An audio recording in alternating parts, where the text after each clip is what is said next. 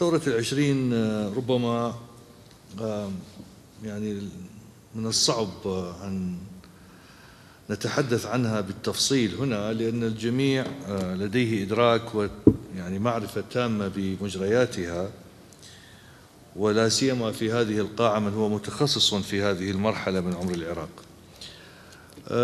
هذه الثورة من ميزاتها أنها وقعت قبل تأسيس الدولة المعاصرة في العراق.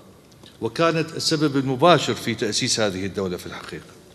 لولا هذه الثورة ما كان انعقد مؤتمر مؤتمر القاهرة في آه، آذار 21 وقرر تعيين فيصل ملكا على العراق كما طلب العراقيون وتأسيس الدولة. كان قرار سان ريمو مؤتمر سان ريمو في نيسان 1920 هو انتداب انتداب البريطاني على العراق وهذا كان سبب أو أحد الأسباب المباشرة لثورة العشرين. هذه الثورة من ميزاتها مو فقط توحيد العراقيين يعني إحنا حقيقة من المعروف جدا أن هذه الثورة شملت العراق في مختلف مناطقه وكانت عابرة للطائفية والمناطقية. وهذه من السمات استمرت حوالي خمسة أشهر آه، الثورة و حينما انتهت كان تقريبا شملت جميع المحافظات في الوسط والشمال والجنوب. وتمركزت ربما في بعض المناطق في الفرات الأوسط وفي الفرات الأعلى لكنها في كل الحالات شملت جميع المحافظات تقريبا بما فيها الموصل وكردستان وديالى وجنوب هذه المناطق. الميزات المهمة في هذه الثورة لم تتكرر أبدا بعد ذلك في العراق. أبدا. يعني هذا التوحد ما بين الريف والحواضر المدن مشاركة الجميع شيوخ القبائل تعاونوا مع الأفندية أو المثقفين بطريقة غير معهودة حقيقة. عادة يكون هناك تنافس بين الطبقتين لكن في هذه الثورة كان هناك تكامل. حتى ما بين المرجعية الدينية في النجف طبعا كان الشيرازي شكرا جزيلا. كان الشيرازي قد تولى المرجعية في في نيسان آه، أو مايس 2019 بعد وفاة اليزدي. والشيرازي آية الله الشيرازي هو الذي أفتى بجواز قتال وكان هذه الفتوى مهمة جدا لتأجيج الثورة على الأقل في الجنوب من بين آه، المقلدين لهذه المرجع. وهم كثر طبعا. عموما آه، هذا التواصل ما بين الحواضر والريف كان أساسيا في تفجر الثورة وفي التكامل ما بين الطرفين. أحاول أنتقل سريعا في سبيل كسب الوقت إلى مرحلة الصحافة. صحافة الثورة العشرين ولدت في سياق زمني كانت الصحافة به العراقية محاصرة.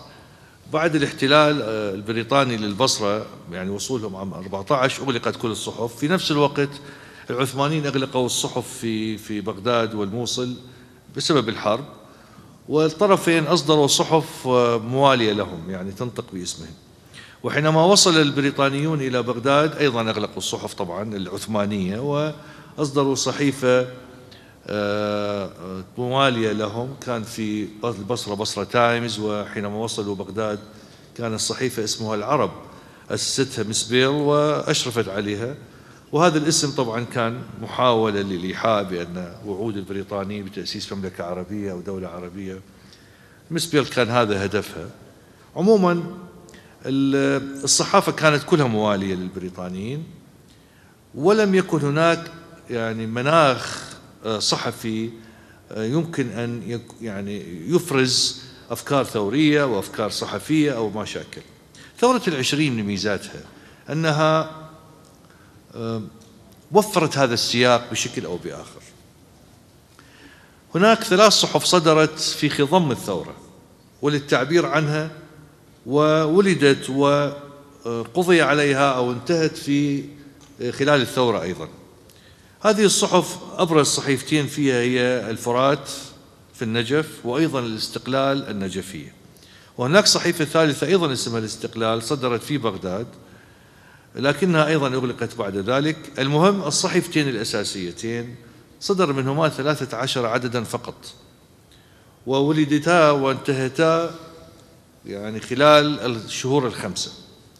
لكن رغم هذا العمر القصير للصحيفتين الثانية بالمناسبة الاستقلال النجفي حصلت على امتياز أو إجازة من قائم مقام النجف آنذاك وهو السيد نور, نور الياسري وهو أحد رموز الثورة. يعني في النهاية كان قائم مقام النجف يوالي الثوار أو هو من الثوار بالحقيقة واجتمع مع الشيخ ضاري في حينها آه، هو الذي منح الجريدة الامتياز في سبيل أن يكون هناك لسان للثورة.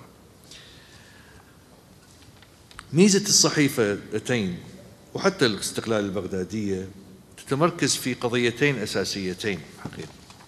الأولى أنهما وثقا تفاصيل مهمة في مجريات الثورة على الصعيد العسكري. وعلى صعيد المشاركين فيها. يعني إحنا حينما نتكلم من شارك ومن لم يشارك. بل ومن عادى الثوار حتى ما بين العراقيين أتكلم طبعا من الشيوخ القبائل و مذكورين بالاسم. خرج فلان شيخ الكذا وحاربنا ووالى الإنجليز وهذا ما بيها يعني ما بيها محاباة أو يعني واضح. وفي نفس الوقت الذين قاتلوا من أول يوم إلى آخر يوم. الأمر الثاني هو التأسيس لقضية المراسل الحربي. لم يكن معروف قصة المراسل الحربي طبعا بسبب الاتصالات انذاك لم يكن تليفون ولا برق ولا لكن في هاتين الصحيفتين الفقيرتين. طبعا ما كانوا يصدرون بشكل منتظم وما عندهم مطابع ويعني طبعا الصحف يعني متخلفة بدائية يعني مثل زوراء إذا شايف فيها. يعني كان عندي صور لكن للأسف ما المهم كانتا برغم فقرهم المالي وهذا واحد من أسباب توقفهما سريعا آه، أيضا لكنهما نقلا أو نقلتا عن الثوار تفاصيل المعارك.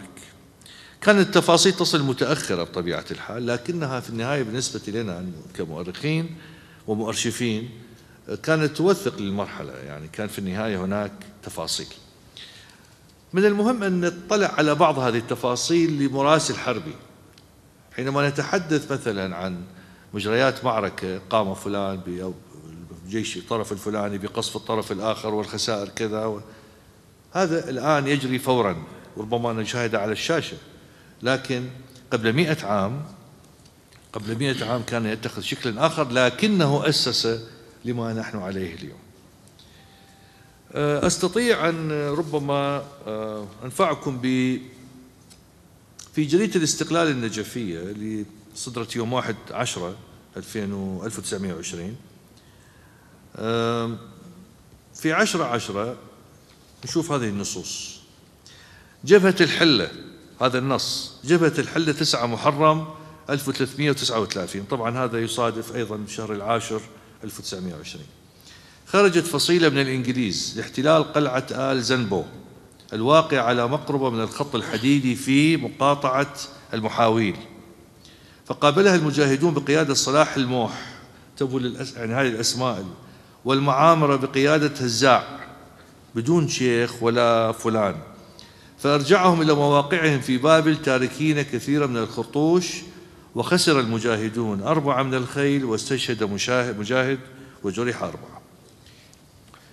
جبهة الناصرية 11 محرم 1339 خرج من الناصرية. دقيقة واحدة.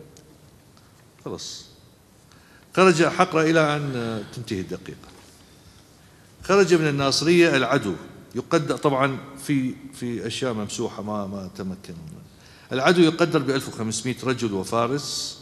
الخط الحديدي فراغ الخط الحديدي بين الناصرية والسماوة. ولما وصل فراغ اصطدمت به جيوش العرب وهي آل غزي والبدو آل محسن. فقطعت خط رجعته ففر الفرسان وبقيت المشاة في حصار شديد. وقد وقعت وقعت بين الطرفين معركة استمرت 24 ساعة. إلى آخره. في في مراسلين هم ليسوا صحفيين. مثلا أخبار مهمة 18 محرم 39 جاء في كتاب مجهل آل فرعون. هو من الثوار لكنه أصبح مراسلا حربيا يقوم بدور الصحفي المواطن. طبعا لما نؤرخ إحنا كإعلاميين للصحفي المواطن الآن اللي يكتبون بتويتر ويصورون أحداث وهم مش صحفيين لكن يسموهم الآن صحفي المواطن.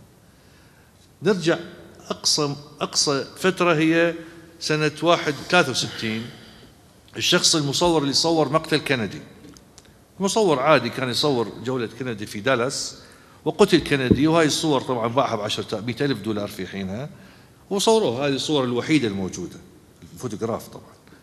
هذا يعني فيديو عفوا وصارت فوتوغراف هذا قبل سنة 20 مجي لآل فرعون وهو أحد الثوار ينقل معلومات آه، كمراسل حربي يقول الوقت انتهى الاستاذ خلاص أنا اشكرك ما وقفنا اعطيني عشر دقائق اكمل والله كنا محكومين خلاص من وقت من وقت دقيقة من وقت الدكتور. يلا. أعطيك دقيقة من يلا شكرا. ما دام هو هو جواد شو تسوي يعني وأنا يعني أعرف إنه راح الناس يطلبون فلذلك وقفت حتى هم يقولوا له مو أنا أقول. طيب. جاء في كتاب نجي لآل فرعون إلى حضرة مزهر آل فرعون. ما يلي جاء أحد قواد الجيوش العربية المتوجهة نحو العراق وقد فارقه في البوكمال. يقول أن الجيش العربي الجيش العربي في البوكمال اللي كان مع الأمير فيصل كان مشغلا بتطهير سوريا من الأجانب وقد فرغ اليوم من مهمته بعد طرد الأجانب من سوريا وتوجه نحو الفرات لإنجاد العراقيين. وخرجت من البوكمال القوة التركية التي تتألف من 4000 جندي بقيادة بيغ فلان كذا آل سعدون والقوة العربية تتألف من 6000 جندي بقيادة مولود باشا قاصدة العراق وسافر كنعان بيغ يرأس فرقتين إلى الموصل وسافر قسم من قوته إلى الشرقاط. طبعا هذه لأنه تاريخيا كان في قوة من البوكمال وجدتي يعني مع الجيش العربي يعني الجنرالات نور السعيد ياسين الهاشمي اللي كانوا معه في بعض التفاصيل راح أقراها أيضا لأنه مفيدة. إحنا طبعا نعرف بدون بدون بدون ألقاب. كانت الصحافة تنشر بدون ألقاب. ستة محرم الفرات الأدنى السكون سائد في هيت الكوفة. شهدت طياراتنا العبارة الآتية مكتوبة على سطح العبارة الآتية عفوا مكتوبة على سطح. هذول هذه عبارة عن كتب صادروها المجاهدين من الإنجليز وترجموها. تقول هذه العبارة. آه، الكوفة شهدت طائراتنا العبارة الآتية مكتوبة على سطح موقع محاصر لجنودنا أننا في حاجة شديدة إلى السجائر والتتن هذا لما كانت قوته محاصرة في الكوفة. بغداد. أصلح الخط بين بغداد وخان النقطة. سافر الشيخ ضاري إلى الشمال جزعا من قنابل طياراتنا التي ألقتها عليه. الإنجليز يتكلمون. الفرات الأدنى. 7 محرم 39 قبضت عشائر زوبة على الطيارتين اللذ- اللذين. طبعا هذا النص يعني. سقطت طيارتهم قرب خان النقطة وأرسلتها إلى الفلوجة. جبهة الدليم. قد اتفق الشيخ الهتاويين وشيخ الكريشيين وشيخ فياض وشيخ شرطان مع الشيخ ضاري وهو الآن عند السيد نور. الاستقلال هذا طبعا نص. الاستقلال شو تقول؟ لم يتقابل الشيخ ضاري مع السيد نور. سيد نور الياسري طبعا. وعلقت الجريدة على هذه الأخبار قائلة نشرنا كل مواقفنا مواقفنا عليه من الأنباء التي أذاعتها حكومة الاحتلال ورمت بها الطيارة لنوقف الأمة على ما تعترف به الحكومة من قوة النهضة الوطنية وتهقرها أمامها تاركين تاركينها تك- تكذب بعضها للقراء طبعا تاركين تكذيب بعضها للقراء إذا نلاحظ هنا دكتور دقيقتين هم راحت. آه، عملية مواجهة الدعاية. يعني أنا كإعلامي هم ما دارسين إعلام الناس لكن مواجهة دعاية الخصم بهذه الطريقة بجرأة أن ينشرون رسائلهم ويواجهوها. هذا كان واحد من الحقيقة بواكير ال- الدعاية المضادة اللي مورست في ثورة العشرين في صحافة ثورة العشرين بدون أن يكون هناك إعداد مسبق لأن الثورة كما نعرف جرت بدون هذا الإعداد المسبق لإجراء الصحافة أو حتى التنسيق العسكري آه، فيما بين الجبهات. هي انتشرت خلال الشهور الخمسة إلى أقصى العراق. طبعا هناك نصوص أخرى لكن للأسف ضيق الوقت لا يسمح بإقراءها